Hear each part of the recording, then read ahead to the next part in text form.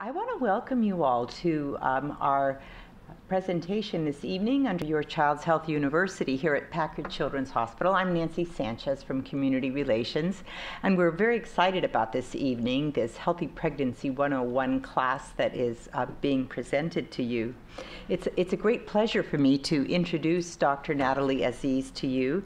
She's a clinical assistant professor in obstetrics and gynecology and maternal fetal medicine at the Stanford School of Medicine and Lucile Packard Children's Hospital. Dr. Aziz actually attended Stanford School of Medicine, and she did her internship and residency at Stanford as well as a fellowship at UCSF. She's board certified in both OB/GYN and maternal fetal medicine. Dr. Aziz has published research uh, on many pregnancy related topics and has developed the curriculum for this Healthy Pregnancy 101 class. Um, which you're about to enjoy. And I will want to mention to you that because we're videotaping and we will have this posted on, on the web, um, we will not be recording your questions. We'd like to save your questions for the end. If you would, there are little cards if you want to jot down things to remember to ask Dr. Aziz so that we don't catch you or your questions for privacy reasons in, uh, during, the, during the lecture. So it's my great pleasure, uh, as I mentioned, to introduce tonight Dr. Natali Aziz. Thanks for coming and sharing with us. Thank you so much for that kind introduction. And thank you. Thank you so much for coming and good evening. It is an absolute joy and pleasure to be here today to discuss with you what a patient, along with her physician, can do and steps that she can take to help ensure a very optimal prenatal care, both prior to and during her pregnancy. And this is a philosophy that's deeply embedded in our Lucile Packard Children's Hospital philosophy and mission. And as we strive every single day to provide the best obstetric and pediatric care for our patients. So, with that being said, thank you, and we'll get started. And just as a reminder, I will be happy to stay and answer any and all questions that you may have at the end of the program. So, thanks. So today we'll be discussing a wide, wide variety of topics uh, pertaining to pregnancy.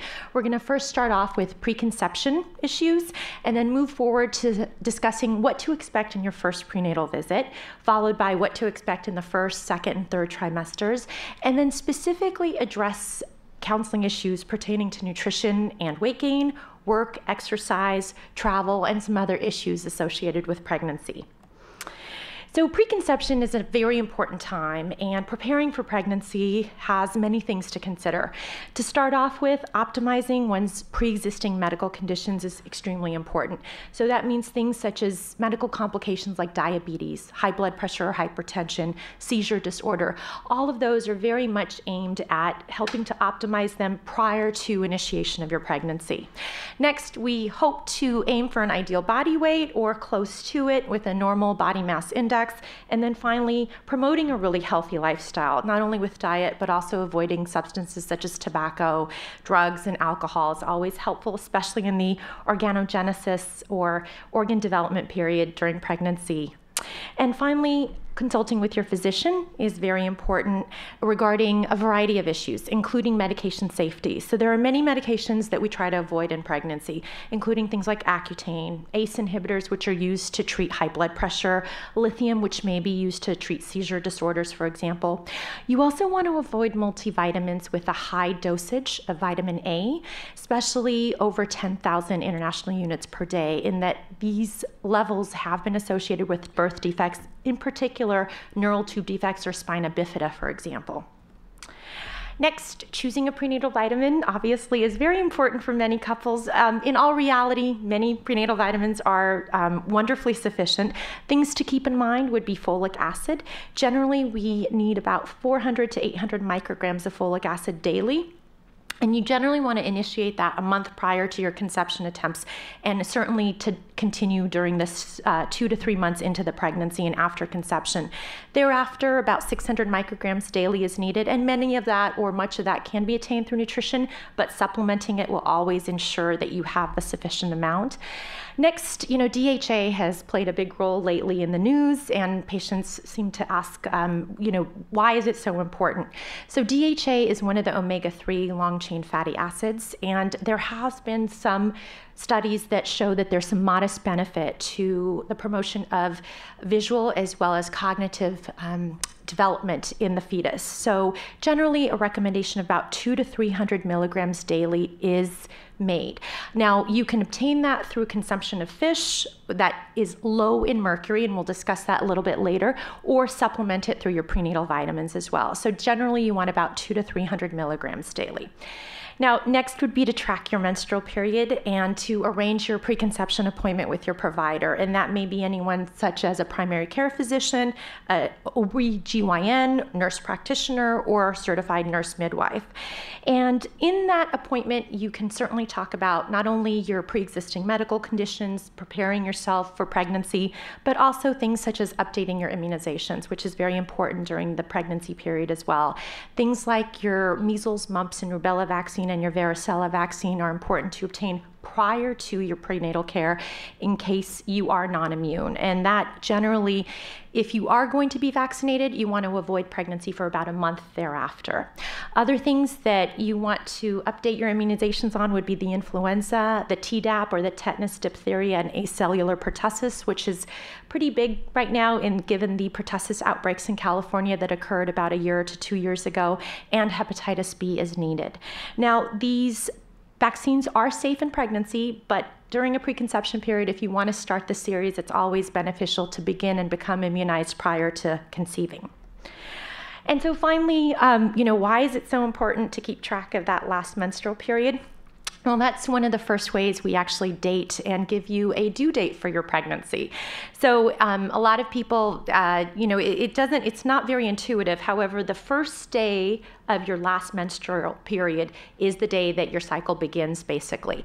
And generally, so we use that as the first day of your cycle, and two weeks thereafter, most women who have 28 day cycles will then ovulate, and that'll be the time of conception and thereafter we use those dates to give you an estimated due date. So, your first prenatal visit can be actually conducted with a variety of healthcare providers. You know, you can start off with a general OBGYN, or if your family practice physician conducts obstetric care, you can also continue with your family care provider. Other people who may provide OB care include certified nurse midwives as well as nurse practitioners. And we do have certain providers um, and a variety of providers in this area meeting all of these um, requirements. Of course, a perinatologist or maternal fetal medicine physician is also a person who is a specialist for complicated pregnancies. And at our center, we have an MFM service that not only serves as a consultant, but also as your primary care obstetrician. So if you do have any high risk complications, you can either be referred for a one time consult, and thereafter the doctor will help care for your pregnancy along with your general OBGYN, or people may choose to be transferred completely to our care. And so that's an option as well here. Um, other things to think about are the type of practice. So we have private practice, uh, which generally is a multi person group, um, as well as university service or HMO. And in terms of the university service, the thing to keep in mind is that it is a teaching institution, so there are groups of people that will help provide care for you. I think they're all wonderful, including the attendants, fellows, residents, but in additionally, there's also the medical student component too that's involved. And all through excellent supervision. So you get to be a part of a multidisciplinary team. And generally, what we aim for is to help establish your care with your OB clinic by about eight to 10 weeks. So that means you call, you set up your appointment. Generally, you go in and have your laboratory values drawn and meet with the nurse for your first time visit. And then by 10 to 12 weeks, you want to have your first visit with your doctor or your clinician. So, as this little guy will show you here, who doesn't look too excited, um, the first prenatal visit can take a little bit of time. It is an extensive period where you get to find out about your prenatal care and your physician gets to find out about your health care history. Um, so, although it is long, it is certainly worth it as it establishes the course for your uh, medical care thereafter. So, things that we review during this first visit include your medical history, you know, again, diabetes, hypertension or high blood pressure, anemia, history history of seizure disorder, your surgical history, which may actually pertain to um, your care during your delivery if a C section is needed, for example, your family medical history, and particularly your obstetric and gynecologic history. We really want to know about past pregnancies, you know, stillbirths, miscarriages, deliveries or terminations, your last menstrual period, the duration of your cycles, for example, and other details pertaining to your gynecologic history as well, such as abnormal pap smears or history of sexually transmitted infections. Uh, medications are always so important, and we like to review them in great detail. So, prescription, but also over the counter, including vitamins and supplements, um, allergies to both drugs or other substances. And then it's a nice period of time during that prenatal visit to review some basic educational aspects of prenatal care, including your nutrition, exercise, substances to avoid, and as well as kind of bring up the issue of domestic violence. Now, um, sometimes people are alarmed when we ask about domestic violence at the first visit. This should not be a stigma. It is something that we ask every woman, every woman who is pregnant. It's a very important time in prenatal care to establish that rapport and to question patients about any.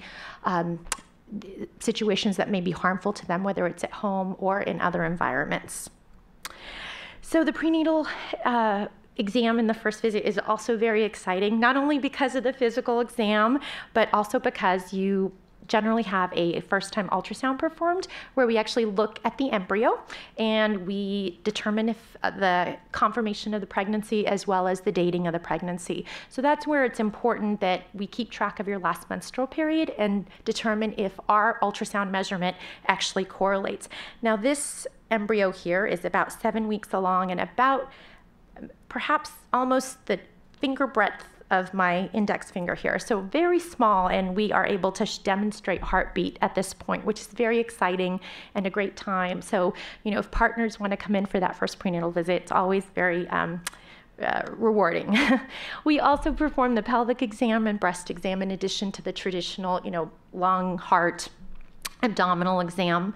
And then studies that we do at that time include a pap smear, um, studies for infections, as well as urine analysis and culture, and some additional prenatal labs, if they haven't been done already, you know, with your nurse visit, include a complete blood count to again check for the um, level of hematocrit and hemoglobin and assess if someone has anemia, your blood type, the Rh status.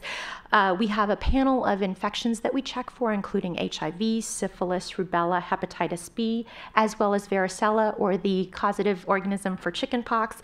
Things also which we bring up are genetic disorders, including cystic fibrosis, and others as they apply to specific ethnic backgrounds. So, the prenatal visit is also a wonderful time for you to become more informed about your care and a time for you to learn about the type of practice that your physician has for you. So, it's important to review the scope of care. You know, you can ask how many partners does that physician have, who covers when they're gone or on vacation, for example, or what kind of call schedule they have, perhaps. Um, additionally, you know, you can discuss what tests will be done not only at this visit but future visits to come, your expected course of pregnancy, and of course, it's always important to always ask, what should I be concerned about what things should I report to you, you know, signs and symptoms to report to your provider. And those include vaginal bleeding, leakage of amniotic fluid from the vagina, or abnormal vaginal discharge, uterine contractions, pelvic pain. And once you feel the baby moving, fetal movement as well, which generally happens after the middle of the pregnancy, after 20 weeks in general, and any unexpected fevers, for example. Um, it's also important to discuss the type of uh, scheduled visits you'll be having, and we'll go over exactly um, how that is distributed. And then again, physician coverage on labor and delivery, because who you may see in the clinic, you know, may not be on call the evening that you come in in labor. So it's also nice to be aware of the partners that are available and hopefully will be providing care for you in some capacity. And finally, um, just to summarize things, you know, it's also a good time at that point to explore the you know cost of prenatal care. If you want are interested in your insurance coverage or your copays that's a good time at the first visit to review that with the front desk staff as well as um, practices that promote safe health for pregnancy, but also just throughout, including use of seatbelts. And in particular, dental care for pregnant women is very important in that poor dentition has been associated with preterm birth. So it's also important to um, become aware of that component of preventive health that can be employed during pregnancy. And then what type of educational programs are available and additional services. For example, do you have a nutritionist or dietitian? Is there an exercise program? Are there available studies? That you know um, patients may participate in if they're interested for exercise, for example, or for different variety of things. So, a typical pregnancy is generally 280 days or 40 weeks, and just to be aware that that does count from the first day of your last menstrual period. So, that goes all the way back there again, another reason why the LMP is important to track. Um, and it's divided into three trimesters, and the first trimester is about from 0 to 13 weeks, second trimester from 14 to 27 weeks, and third trimester from 28 to term. So the frequency of prenatal visits obviously is dependent upon the um, trimester that you are in. So generally in the first trimester until the 28th week, we see usually patients every four weeks unless there's a complication that needs more um, detailed or additional uh, attention. And then from 28 weeks to 36 weeks, we generally see patients every two weeks, and then weekly after 36 to 37 weeks. So, I'd love to go over some of the things that are routinely experienced in the first trimester. Although these are mentioned here, we still want you to report them to your physician, but this is a bit of a reassurance to let you know that these things are common. So, if you are experiencing them, it is not atypical. So, in the first trimester, generally there's nausea and vomiting fatigue may be experienced, definitely breast tenderness or constipation. And as the second trimester comes along, there's possibly skin changes, um, hyperpigmentation or darkening of certain moles or other skin areas, and especially in the face, or a vertical line down the abdomen in the midline, which is called a linea nigra. Stretch marks obviously increase. Um, sense of shortness of breath due to the physiologic changes that are going on with the gravid uterus increasing. There's also that um, infamous broad ligament pain where women will have a stretching sensation on the lateral aspects of their abdomen or uterus, and it really is the suspensory ligaments that are holding up the uterus that are starting to stretch as the uterus is becoming larger. And of course, unfortunately, varicose veins also may be more prominent during this time as progesterone does uh, relax um, muscles and therefore varicosities may be more prominent. In the third trimester, uh, you may start to feel contractions, and you know up to three to four per hour are actually within normal physiologic range. So that's something to be reassured about. Obviously, we want you to report your contractions to your physician, but again, it's nice to know that a few is is appropriate. Back pain can definitely be um, problematic during this time as the weight gain of the pregnancy and the uterus can um, place strain on the back, for example. Lower extremity pain and swelling is, is certainly very common as well. Breast discharge may be common as lactation is starting to um, progress. Increased vaginal discharge and gastric reflux. And gastric reflux seems to be a very, very um, common and very uh, common symptom during pregnancy. So if if you do have that, please let your doctor know. There are many things that we can do to help treat, whether it's from lifestyle modification of the way that you sleep or smaller meals, less spicy meals, to additionally where we can actually treat you with um, medications.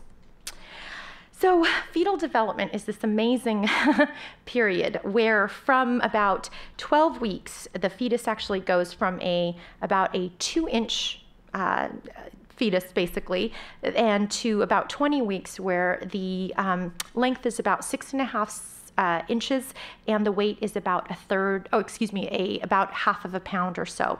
And then finally, this development goes on to 40 weeks where the infant is now approximately seven and a half pounds and 20 inches when he or she is born. So there's a dramatic evolution of fetal development during that short 40 weeks of gestation.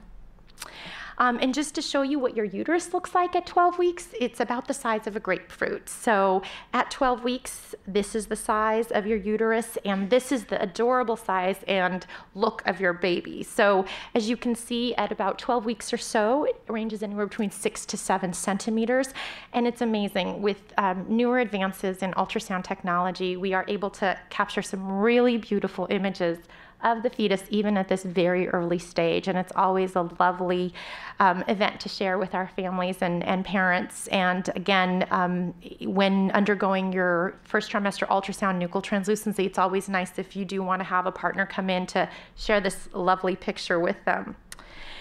So, first trimester also is an important time to review the genetic counseling considerations for specific families. Um, there are many families, such as African American or Mediterranean that may need counseling in sickle cell anemia or thalassemias, for example, Tay Sachs disease, cystic fibrosis, Canavan's, and fam- uh, familial dysautonomia is again um, considerations of genetic disorders for specific ethnic backgrounds. Of course, inheritable diseases are also important to consider. So, if your prior child, for example, had a heart defect, we definitely want to know with subsequent pregnancies um, for further evaluation. And then finally, for screening and testing testing of chromosomal abnormalities, there are a variety of screens and diagnostic procedures that you can be offered.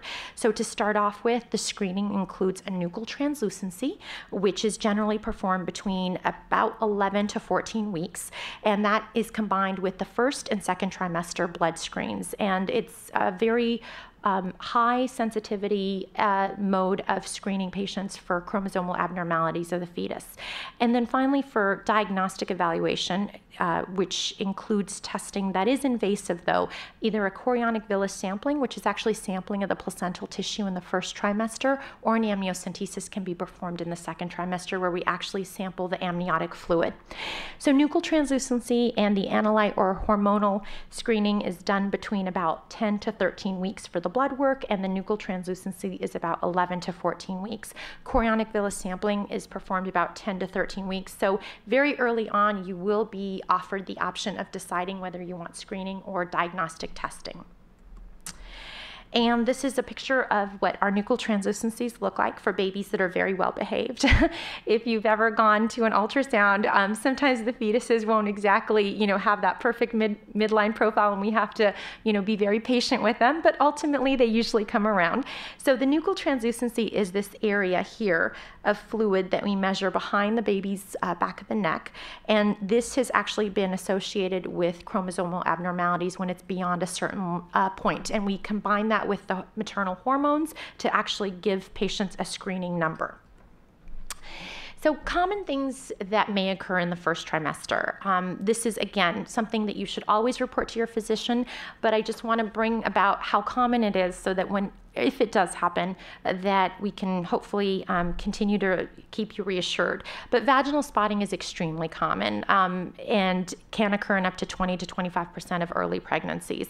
And not all of those pregnancies end in miscarriages, for example. Most of those pregnancies will also continue to um, be a viable pregnancy, which is the reassuring aspect of this. Additionally, nausea and vomiting is very common in pregnancy, particularly in the first trimester. It can affect as many as, you know, at various degrees, up to 70% of pregnant women. Um, generally, we recommend lifestyle and diet changes. Again, um, potentially eating smaller meals, avoiding spicy foods. Things that you can use uh, include ginger, vitamin B6, Unisom, which is a sleeping agent, has actually been used to um, treat uh, nausea and vomiting associated with pregnancy as well. We can also provide prescription medications that have really been very safe for use in pregnancy. And unfortunately, in about 2% of pregnancies, this will be hyperemesis, meaning severe nausea and vomiting. And some of those patients may actually require hospitalization and iv fluids or other type of medications and iv nutrition but that is a rarity so, in the second trimester, um, fetal development uh, occurs where all the major organs and systems have actually formed, and then thereafter they just develop and grow further. The remainder of the time after the second trimester is really devoted to increase in weight, and the fetus will actually increase its weight by seven times over the next few months. So, there's a dramatic period of um, growth in the fetus in the third trimester. Fetal movement generally is felt at about 20 weeks for first time pregnant women, and as early as about 18 weeks or so for recurrent pregnancies as moms get to know a little bit more about how a fetal movement may be and, and are able to recognize it a little bit earlier. So, um, no matter how many ultrasounds I've done in my life, uh, you know, every one of these is a very special moment as as we perform the anatomy ultrasound at about 20 weeks or so. This is the time where we get to introduce you to your baby and all of his or her parts. And that's when we do a very detailed survey of the fetal anatomy, where we look at the head, the heart, the gastrointestinal tract. We look at the genitourinary areas, we look at the limbs, and assess also the um, pelvic organs, including the uterus and the cervix, which is the lower portion of the uterus, and the ovaries. So this is always a very exciting time, and with the advent of and use of 3D imaging as well, it's amazing what pictures you can capture during these um, ultrasound assessments. Uh, in the second trimester, we also do the quad marker, which assesses for the, uh, some common genetic abnormalities, including trisomy 21 and 18, and for neural tube defects such as spina bifida or abdominal wall defects. We also perform amniocentesis if desired, and again, this is an invasive testing where we actually sample the amniotic fluid, and this occurs anywhere between 15 to 20 weeks. And then in the late second trimester, which is up to 28 weeks or so, we do our gestational diabetes screen and then check the blood count again because there's a component of physiologic anemia or lower blood count that is very common in pregnancy due to hemodilution. And we just want to assess and make sure that we have a um, good account and marker of the current blood count status. So third trimester, um, you know, we'll see you more frequently. After 28 weeks, we generally see you every two weeks, and then in the last four weeks or so, we see you weekly. Those times, again, we are measuring your weight, measuring your blood pressure, measuring uh, the uterus to check for proper growth of the fetus. Um, we perform physical exams uh, if there is any discomfort. Again, if people are having um, discomfort with their hands or swelling, something that commonly occurs in pregnancy is carpal tunnel syndrome, where the um, median nerve is actually compressed due to the swelling that occurs in pregnancy, and many moms will have uh, potential symptoms of that that we assess, and then obviously swelling of um, the feet and lower extremities as well. We assess the urine to make sure that we check for sugar and protein levels, as those are markers for diabetes and preeclampsia, respectively. And obviously, every time you come in, we will check the baby's heart rate and make sure that it's in an appropriate um, range. And then at 35 to 37 weeks, we also perform a group B streptococcal culture. Um, this is a transient organism that generally lives in our gastrointestinal tract, and sometimes it colonizes the vagina or bladder. And at 35 to 37 weeks, we'll check with a rectovaginal swab, and if mom has colonization, then we will administer antibiotics during labor to help prevent the baby from acquiring the infection at the time of birth. So it's amazing. I don't know how nature did this, but it did. Um, after 20 weeks, fundal height mysteriously correlates to the gestational age, which is very interesting.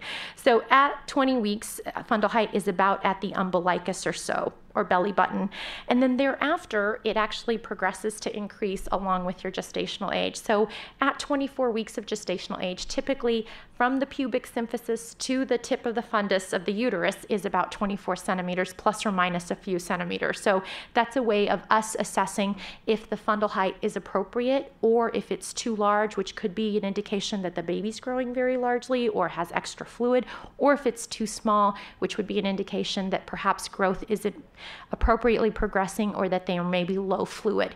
Now, most of the times, though, reassuringly, when we do have ultrasounds to assess for size greater than dates or size less than dates on a fundal height, most of the times it's reassuring and there's appropriate growth. It's just that not every body is going to adhere to this tight rule, but it's always nice to have as a way of a screening.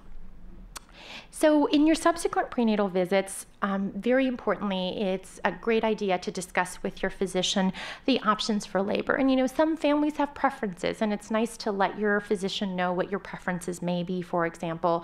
And it can be as small as, you know, I, I, I want my partner or my partner wants to cut the cord, for example. But those are all nice things to discuss and to review and how feasible they may be at the time of labor. Pain control in labor is very important to assess if there's an obstetrician at all times on labor and delivery, for example, or if they have to be called in. At our institution, we actually have a 24 hour obstetric. Uh, obstetric uh, anesthesiology service, which we're very, very fortunate. We have one of the leading programs in the nation, and so we have uh, our doctors there readily available to provide pain control for moms who may be interested in that. Again, planning for delivery, postpartum childcare, asking about, you know, hospital tours, car uh, seat fittings, for example, are important things, and usually your office will have that information. Breastfeeding benefits are always great to discuss with your provider as well, and choosing a child's physician. And we may not know exactly who to send you to, but I think it's nice to discuss it with your obstetrician, and they can guide you if um, for specific referrals. So, some of the things also in the subsequent visits, or to begin with, um, to discuss with your doc, are your nutritional counseling. So, what is healthy, and perhaps what do we need to avoid during pregnancy? So, one of the things that's important is generally to limit your caffeine intake to less than 200 milligrams per day. Now, that being said, it sounds like it's quite um, restraining. It's actually not. You know, roasted ground drip has about 100 milligrams per cup, tea about 30 to 35. A Starbucks coffee, though, has about just about that limit of about 250. And then a Coke or Pepsi is about 50 or so. So, as you can see, you don't have to cut out caffeine completely, but drinking in moderation is an appropriate consideration. Um, as we reviewed before, limiting your vitamin A intake is always uh, very important to consider. And for those who have an exclusively vegetarian diet, it's really important to make sure that you take in the appropriate amino acids, iron, minerals, vitamin B12, vitamin D, and calcium, and complex lipids. These minerals and vitamins are all really essential for normal embryonic development. And so it's important to incorporate them in your diet. And I think a consultation with a registered dietitian or a nutritionist is very helpful to help you prepare and to continue to provide appropriate nutrition during your pregnancy. So, another nutritional counseling um, matter that comes up is fish and how much can I eat and can, what form can I eat. So, this is a very excellent topic to discuss with your obstetrician. Uh, methyl mercury exposure definitely is something that causes severe central nervous system damage, and it can, on a milder level, cause intellectual, motor, or psychosocial impairment. So it's very important to be aware of the levels of mercury in the fish that you may be eating and to uh, gauge your um, consumption accordingly. Things that you want to avoid, um, fish uh, specific types are shark, swordfish, king mackerel, tilefish because they have really high levels of mercury.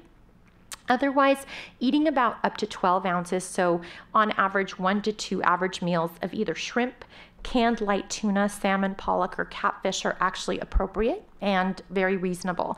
And one of the things to keep in mind also is the albacore white tuna actually has more mercury than the canned light tuna. So avoiding the albacore might be a good idea or limiting its consumption to only about half or six ounces. And it's very helpful. The FDA has a website where you can actually click on and look at the fish mercury levels so that if you particularly have a craving for a certain type of fish, you can actually see the mercury levels that are noted by the FDA. And obviously, always checking local advisories is a good idea. For example, our West Coast specifics may be a little bit different than East Coast. Um, additionally, for nutritional counseling, a very important thing to remember are, is, is to avoid undercooked or raw foods. You know, there is a risk of food poisoning, whether it's bacteria or parasites. And food poisoning not only causes dehydration of the mother and deprives the fetus of nutrition, but it can also cause, you know, significant and severe maternal disease. And in the fetus, uh, there's a variety of possible adverse risks, including congenital disease, which may be associated with toxoplasmosis, that can be associated with eating um, raw foods, for example, raw meats or undercooked meats. Premature labor, if there is significant infection, miscarriage, meningitis, which is inflammation and infection of the lining of the brain and spinal cord, pneumonia, and even death for fetuses. So it's important to avoid these, especially bacterial and parasitic foodborne illnesses you know, things to do really thoroughly cook your food um, from animal sources, including beef, pork, poultry, and fish. So, no sushi. Wash your raw vegetables thoroughly as well, and keep your uncooked meat separate from your vegetables and from cooked foods and ready to eat foods so that they don't cross contaminate. Obviously, avoiding unpasteurized milk, cheese, and foods made from raw milk is very important in that for prevention of listeria or listeriosis. And although generally it's in unpasteurized products, as you may all be aware, there was a recent outbreak in cantaloupes, for example. So it can also be in fruits and vegetables, but usually advisory toiletries are given for those types of situations, and those are uncommon in, in, in the grand scheme of things. And finally, washing hands, knives, and cutting boards after handling uncooked foods is also sanitary, and not only for pregnancy, but for all cooking practices. So you may ask, what's an appropriate weight gain now that we've talked about all the foods that I can and cannot eat? Well, our weight gain is generally based on our body mass index. And body mass index we calculate using your weight divided by two times the height, basically, or height squared, I should say.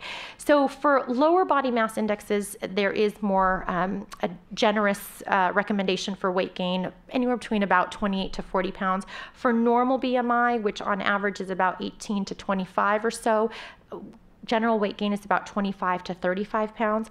And for high BMIs, um, so between 25 to almost 30 is about 15 to 20. And obviously, the higher the BMI, such as obese, which is greater than 30, the lower the recommended weight gain and average weight gain per trimester. And this is just average because, in all reality, it's very, um, it, not many people may fit this standard. However, generally we quote about three to four pounds in the first trimester, um, 12 to 14 pounds in the second trimester, and about eight to eight to 10 pounds in the third trimester. And in terms of all the weight and what components make up this weight, well, at term, your baby is about approximately seven and a half pounds or so. Your extra maternal energy sources, including fat, protein, and other nutrients, make up another seven pounds that you have stored. Fluid volume that also we store in third space, um, the lovely swelling that may come about, for example, is an additional four pounds. Breast enlargement is two pounds. The uterus itself becomes very large and gorged with vessels, and it itself weighs two pounds. Amniotic fluid is another two pounds, and then the placenta is approximately one and a half pounds. And the thing to remember is that generally for pregnancy, an increase of about 300 calories per day is recommended for a goal of 2,500 for singleton pregnancies. Now, this goal is a little bit higher for twin pregnancies as moms need additional nutrients. So, additionally, the specialized counseling that we talk about during pregnancy, if um, vaccinations uh, were perhaps not updated prior to pregnancy, reassuringly, things like the flu vaccine, hepatitis B, hepatitis A, Tdap, pneumococcal, and, and meningococcal vaccines can all be administered safely during your prenatal care. We try to avoid the measles, mumps, rubella, and varicella vaccines in pregnancy. However, this is for theoretic concerns. So, if one does inadvertently get the vaccine during pregnancy, please consult your physician and hopefully they'll reassure you as to that it's just a theoretical risk and not significant severe outcomes have been demonstrated when people do get these vaccines inadvertently. Additionally, whenever you go to a physician that may not be an OBGYN and that there's need for x-rays, please always consult your physician of your prenatal care. Generally, dental and chest x rays are permitted during pregnancy. Other types of imaging um, we consider, but only if they're needed for significant maternal management issues. So it's always a good idea to talk about any x rays with your OBGYN before proceeding with them. Um, additionally, I think pregnancy is a great time for specialized counseling for individuals that may need um, assistance in terms of tobacco, substance abuse, domestic violence, or medication use, whether it's prescription or over, or over the counter. It's an amazing period of time when um, the inspiration and motivation for healthy well being and prenatal care can really motivate individuals to lead healthier lifestyles. So I think it's a great time to um, modify one's lifestyles to benefit not only long term outcomes, but also your prenatal care. So, in addition, pregnancy brings to the conversation of what to do during everyday activities. You know, this includes work, exercise, sex, sleep, travel, air travel, car travel. So I'm going to just go over very briefly some considerations for each of these topics. So during pregnancy, many or most women will actually continue to work without complications. You know, it really does depend on the type of work and your medical condition. But for most low risk or uncomplicated pregnancies, a pregnant woman can continue until her third trimester, until she's ready to take her time off, basically. So, physical job demands, though, that include prolonged standing or walking, heavy lifting, working at various shifts, for example, or job stress, may affect pregnancy. And so, if that's the case, it, I really encourage you to discuss these things with your physician so that you can kind of modify your perhaps work environment to best uh, benefit a optimized prenatal course. Things that you want to watch out for in the workplace include metals like mercury and lead, solvents um, in the house cleaning industry, for example, cleaning agents and pesticides, exposure to pharmaceutical agents, in particular, for example, those medical personnel that work with chemotherapy. It's very important that to remember chemotherapy can be associated with miscarriage, low birth weight, or malformations, and so being aware of your environments is very important. Infections are another common um, workplace uh, adverse event that we, we deal with quite often. So, whether you're a school teacher or a nurse or a physician or just a plain mom who's at home with her two year old, there's things that can happen, such as hepatitis or chickenpox, rubella, CMV, parvovirus, or toxoplasmosis, and other infections that may actually influence pregnancy. And so, those types of infections not only need to be reported to your physician, but it's good to kind of assess your work environment to see what you may be exposed to and discuss that with your OB.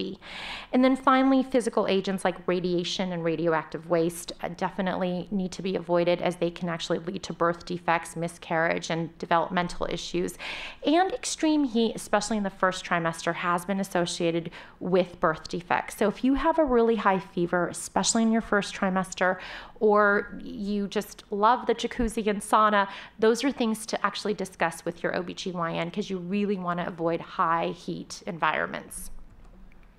So, the AMA or American Medical Association um, recommends these lovely things for pregnant women. And I really implore you to bring them up at your workplace. You need to take a break every few hours.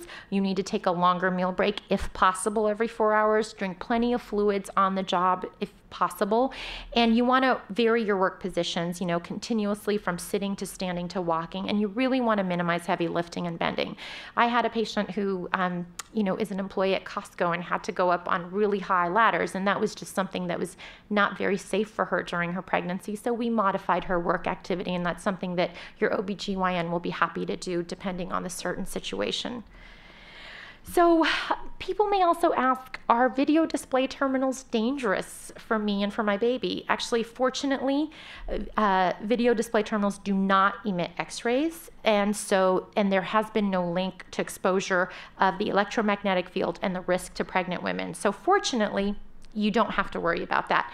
Now, computers, just as in non pregnant individuals, can be associated with neck, wrist, hand, shoulder, and back pain. And this may be exaggerated in pregnancy. So, prolonged sitting at a computer terminal may not be the best for these symptoms. So, if that happens, just bring it up with your physician, and I'm sure that they can work something out with your boss basically to help relieve some of those symptoms. And just like in non pregnant patients, you definitely want to take frequent work breaks. You want to use detachable keyboards and adjustable chairs and use non reflective glass on the screen to basically adjust the lighting and contrast. Now, exercise in pregnancy. Um, it's very uh, important to stay healthy throughout your life, but and additionally during your pregnant C course. So, pregnancy and exercise is actually a wonderful symbiotic relationship, and we've definitely determined that exercise has many benefits in pregnancy. It can minimize the physical discomforts of pregnancy itself. It's beneficial for women with diabetes and can help keep both gestational diabetes and preconception or pregestational diabetes in better control. It actually has been proved to improve mood, energy, sleep patterns. It can increase your endurance and strength and muscle tone, and it can improve or help with the recovery after the birth of your baby as well. So, if someone is healthy and has been exercising and physically fit before the pregnancy, they can safely continue to exercise throughout their pregnancy course. Obviously, you want to let your physician know um, throughout your pregnancy, but generally continuation is very appropriate. However, women who have not had a exercise regimen prior to pregnancy, we highly encourage you to really speak to your physician before starting one. It's very important to discuss this in consultation with your doctor so you can set up a reasonable regimen to begin you gradually. So, your target heart rate in terms of how hard can I exercise. So, we usually like to say keep it below about the 140s or so. And really, this is a level where you can conduct a normal conversation with an individual. So, if you're able to talk without taking deep breaths and huffing and puffing, that's generally a very appropriate exercise level and correlates to less than 140 beats per minute. Your goal is up to about 30 minutes per day. And, you know, again, for those individuals who've never started an exercise program, you want to start this gradually and discuss it with your physician first. You want to drink plenty of fluids. You want to avoid extreme exhaustion, excessive heat, and lying flat on your back as well.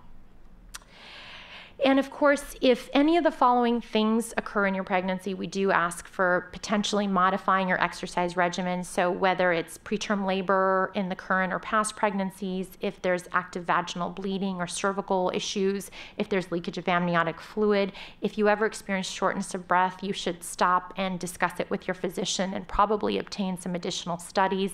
Dizziness or fainting is another um, period of time where exercise may not be safe, decreased fetal activity or other complications. If your heart rate is greater than the 140 and you're not able to exercise at a level where you can sustain it below that level.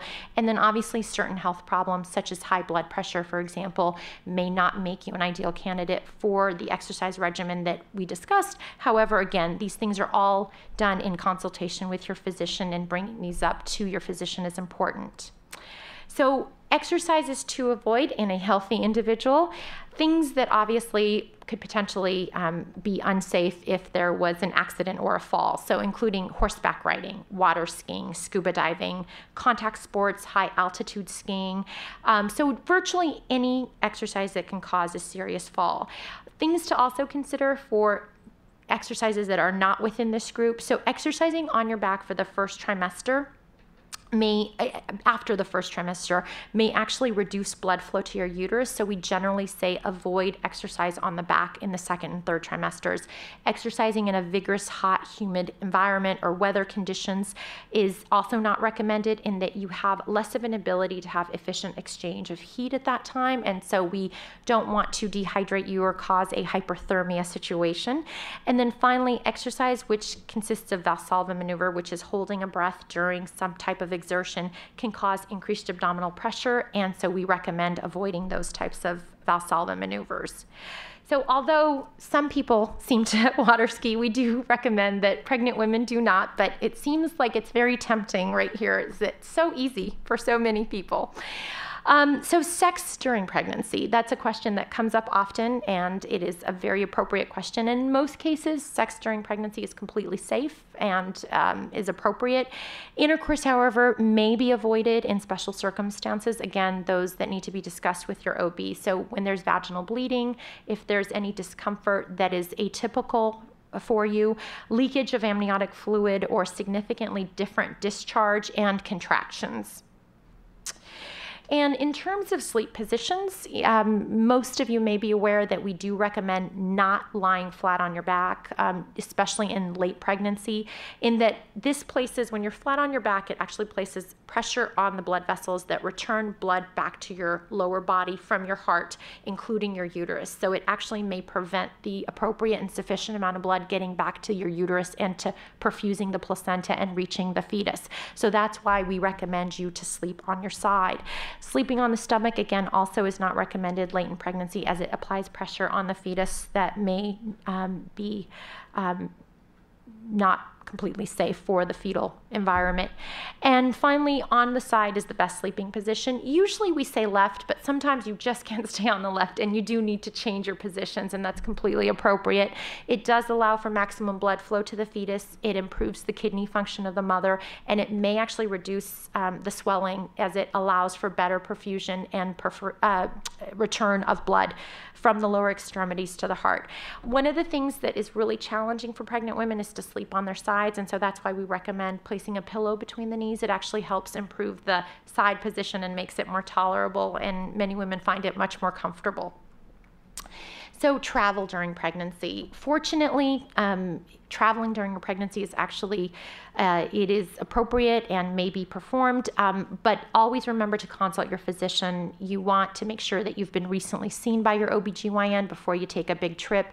You want to have a copy of your prenatal records. Hopefully nothing adverse will occur but if you needed to go to a hospital it's always very nice to have a clear record of your documented pregnancy course when you are being evaluated by a physician that may not be familiar with your case. During long airplane or car rides, we definitely recommend you ambulating if possible. You want to wear compression stockings, especially on long trips, for example, airline trips or car trips.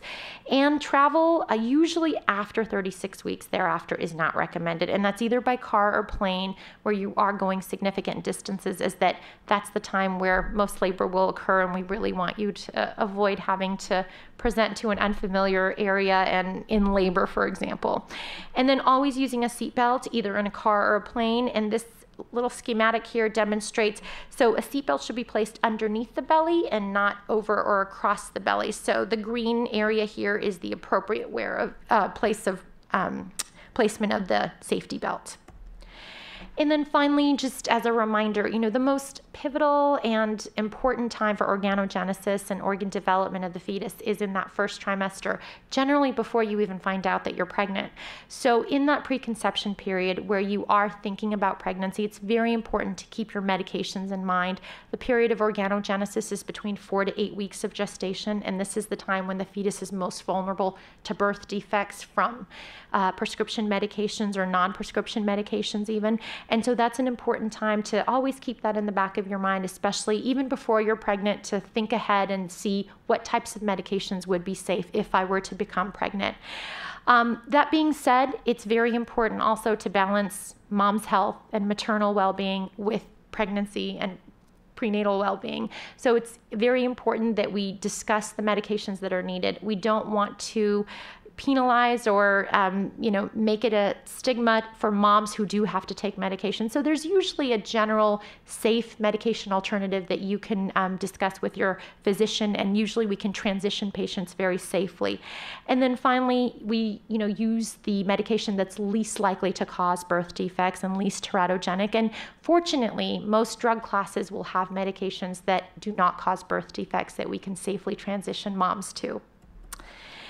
And finally, just keeping the risks of alcohol and drugs, cigarettes, infectious diseases, medications, uncooked or unpasteurized foods, and then medical conditions as well in mind, including diabetes, high blood pressure, sexually transmitted infections. And to kind of wrap it all up and, and to think of these things as being potential situations or environments or substances to avoid during pregnancy is always a good, healthy rule. And finally, when to call your doctor. We reviewed things, signs, and symptoms to report to your physician, but additionally, you know, any vaginal bleeding, pelvic cramps, or pressure should be reported. Fevers that are greater than approximately 101 degrees should be reported. Leg swelling, especially asymmetric leg swelling, which pregnant women are more at risk for um, blood clots in their lower extremities. So we always, we never take this um, lightly. It's always a serious situation, and we definitely want to evaluate you as soon as possible. Severe headaches as well, pain or burning with urination, which could be the sign of a bladder or kidney infection, severe vomiting um, or inability to keep anything down because it can lead to dehydration for the mom, and that's something that we definitely want to avoid and can treat with IV fluids, abnormal vaginal discharge or symptoms, and especially abdominal trauma um, whether it's through a motor vehicle accident or a fall. We always want to know if they if there has been abdominal trauma, and that especially in the um, late second and third trimesters, we like to monitor the fetus. So it's always better for you to call us as soon as possible. And finally, thank you. I want to thank everyone for your time and attention, especially in this late evening. And I want to thank Mrs. Sanchez and Stonestrom for um, the Office of Community Relations and Community Programs for helping us establish this evening. And thanks for the opportunity to allow me to come in and, and talk about things that may hopefully be of value to you in your prenatal care and help lead to a very happy, healthy, and informed pregnancy. And on a personal note, I just want to thank you all for potentially choosing or considering Lucile Packard Children's Hospital as the medical facility to have your prenatal care. Uh, we really believe and value the fact that pregnancy is not only one of the most important health care periods, but also one of the most important personal life events for an individual and her family, and we're honored to be a part of that for you. And with that, I'll take any questions that you may have, and thanks for your attention.